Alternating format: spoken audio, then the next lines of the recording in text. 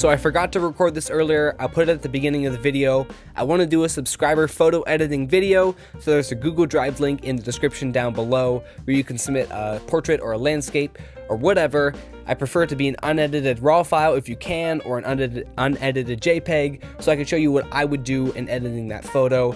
I said about this on my community tab, and there was a couple comments that were interested. Even if I only get one submission, that's cool. I just thought it'd be something fun to do. So that's in the description down below, the Google Drive folder. I'll have it labeled or whatever. Submit your photo, and I'll eventually do that photo editing video. Thank you if you do that, and enjoy the rest of this video. Bye.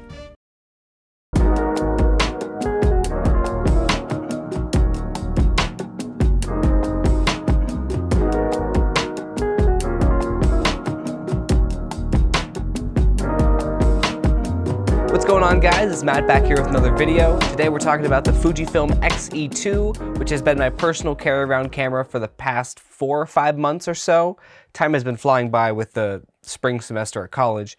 But um, yeah, this has been my answer to, let me tell you a little bit of a story here. My first camera whenever I joined the Fujifilm system was the Fujifilm X-T3, and I'm filming on two of them right now. That's my really my standard for like what I you know, am used to for a Fujifilm camera. So whenever, you know, I use my X-T3s professionally and they're great for that, but I don't necessarily want to be carrying around my $800 camera every day when I just want to do casual photography. I just, in case it gets, you know, damaged or stolen or, or whatever. So my first answer to this I bought was a Fujifilm X Pro 1, which I have a review of that here. Um, so at first I got an X Pro 1, but, and I really did like the X Pro 1, I like the X Trans 1 sensor, but I found that I wanted my secondary like walk around casual camera, I wanted it to be smaller. The X Pro 1 is basically the same size as the X-T3, it's kind of big and blocky. So my answer to this was then I bought a Fujifilm X-T10, which I reviewed that here. So then I had the X-Trans 2 sensor, which I really liked, which we're getting to this here. This also has the X-Trans 2 sensor. The X-T10 I really liked. It was smaller and more compact than the X Pro 1. It also sort of had the X-T3 sort of style, but um, I eventually ended up selling my X Pro 1 and keeping the X-T10 for a short while, and uh, I eventually did sell that off. I ended up getting a X100F, um, and then I ended up deciding whenever I was trying to downsize and not just have so many cameras, I tried to sell off the X100F and I was sent an X100 original by one of my friends, Frank.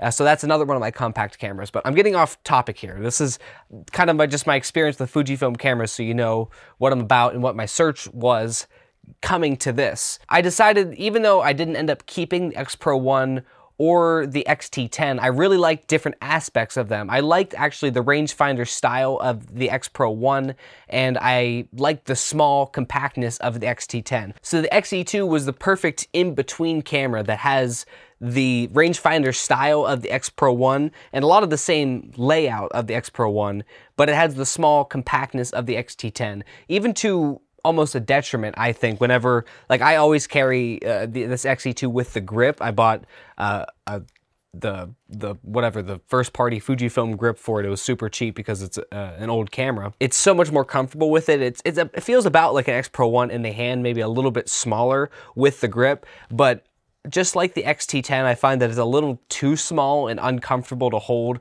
without the grip, but that's great for you know it being compact and it's great that you can take that away if you if you want to. That was something i do kind of miss about the xt10 um, whenever i try to take these xt3s with me and i'm just walking around i just wish it could be a little bit smaller but i just don't have that option. It is what it is. But this even though it's people like to complain that you know you have to get a grip to have the full functionality of the camera there is kind of an argument for it in this case i think for how i use this camera which is I, I want it to be small whenever I'm just walking around. But like I said, I came from the X-T3 and there are noticeable differences in the build quality and just the layout of this camera.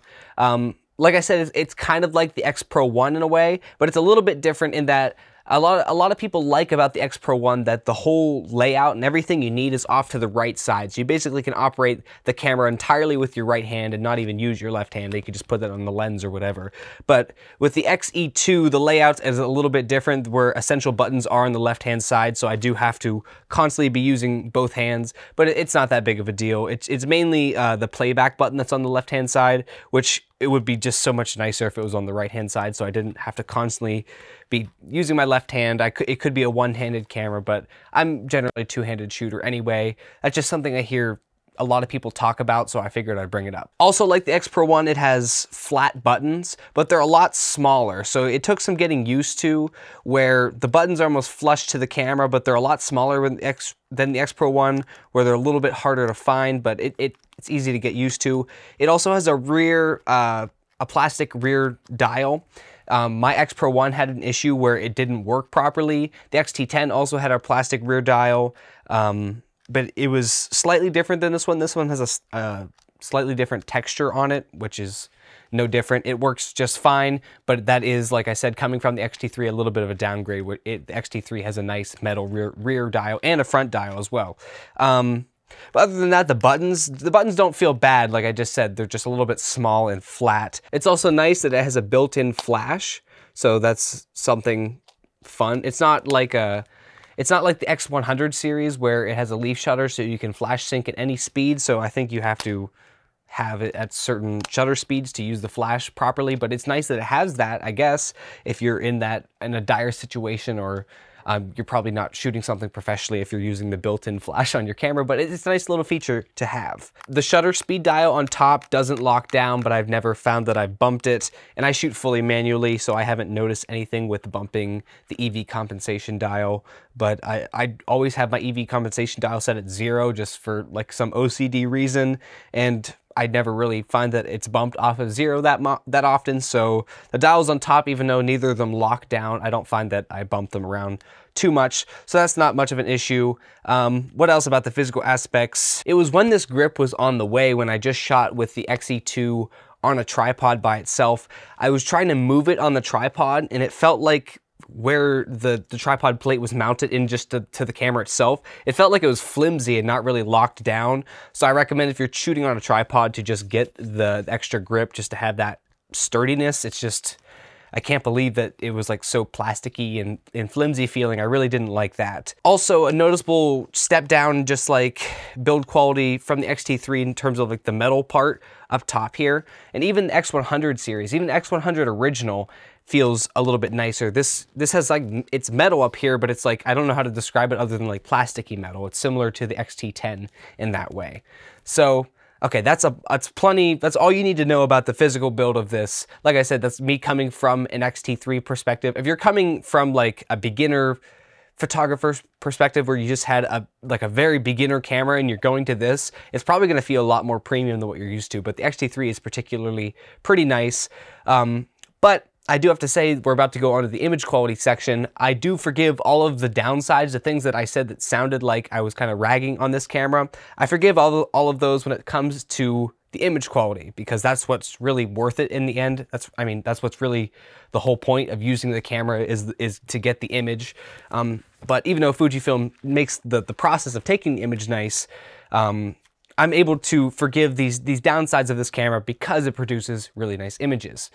It has the X-Trans 2 sensor, which, like I said, I've tried all of the X-Trans sensors. I had the X Pro 1, so I had the X-Trans 1 sensor, and then this XE2 and the XT10, so I've had the X-Trans 2 sensor, and then with the X100F, I had the X-Trans 3 sensor, and then I had the XT3s, which had the X-Trans 4 sensor. Um, I really like the X-Trans 1 and 2 sensors. A lot of people lean more towards X-Trans 1. Um, I actually like the X-Trans 2 a little bit better. It doesn't... I think it has about the same low light noise performance. I found that the X-Trans 3 sensor doesn't have that great low light, low light noise performance. The X-Trans 4 is pretty good as well, but uh, between the low light noise performance is about the same as X-Trans 1, but I find that you're able to push the raw files a little bit more on the X-Trans 2 sensor files.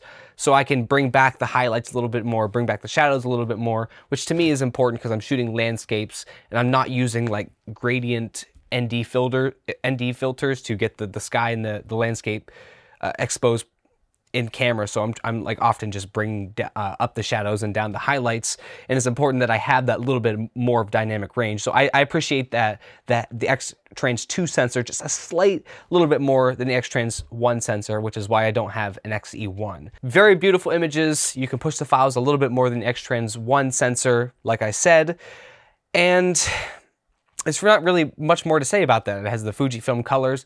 Like I said, I shoot fully manually and I also shoot fully raw. Shoot fully raw.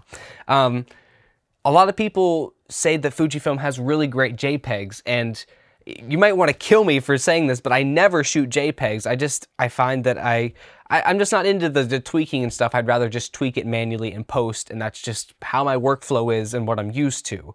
And, but I still do see a difference between the X-Trans uh, sensor generations in terms of, of colors and, and the like Provia is different on X-Trans 1 than it is on X-Trans 4 and the same thing with the X100 original camera which I was sent to by Frank thank you Frank um, that Provia is even different than any of the other Provias. So it's like each generation, the different film simulations, even if they're named the same, are just slightly different. And that's just, it's just how it is. And that's what's interesting about making me want to get all these different Fujifilm cameras, and a lot of people are the same way. Um, it has the great, it has great color science. So the X-Trans 2 sensor, if you've had any camera with that, if you've had the XT1 or the XT10 or I don't even know what else has the X-Trans 2 sensor, but uh, the X Pro 2, any of those, um, it has the same image quality as all of those, but this is probably the cheapest camera with the X-Trans 2 sensor, I do believe. Correct me if I'm wrong in the comments down below. My overall thoughts, like I said in the build quality section, it has drawbacks if you're coming from a camera that is really high quality and really nice and tactile nice to the touch with buttons and dials and stuff is a slight downgrade. I don't know if I mentioned, but it also has a pretty small viewfinder. But if you can see past that and the other downsides, the image quality is great. And it's a great um, interchangeable lens everyday carry camera that's nice and small. The X100 is a nice, even more compact version, but you're restricted to that one lens. This you can use any lens. But of course, if you use a really big lens like the 16 millimeter 1.4, kind of negates the small factor of the camera. Overall, I really like this camera. I don't think I'm gonna sell this. Oh, I forgot to mention the XM1 was also in the journey to me getting this compact everyday carry camera. So I went through the XM1, the X Pro 1, and the XT10 before I decided on the XE2 as my interchangeable lens everyday carry camera, and then I have the X100 original as my fixed lens everyday camera carry camera. So just for fun on my everyday carry, I'm using old X-Trans sensors just because I like it, and I'm using my X-T3s with the newest, currently about to be superseded by the X-Trans 5 sensor, but the current newest X-Trans 4 sensor on my X-T3s. I use that for my professional work. That's kind of my workflow. That is my thought process in all these cameras that I've reviewed so far on the channel that have had these older sensors. It's kind of been leading up to me settling on this I think I'm probably going to be reviewing less Fujifilm cameras. There's a little floaty coming in the air. I don't know if you can see that. There's multiple. I don't know if I'm going to review as many Fujifilm cameras. I have a couple things lined up, but um, yeah, good thoughts overall. Leave a like if you enjoyed. Leave a comment down below. I have a couple reviews up next. I know a lot of people are still watching my Sigma DP2 Classic review. I have the Sigma DP2 Quattro and that's on my lineup list of things to review up next. I'm between that and this Fujifilm 16mm 1.4 up next.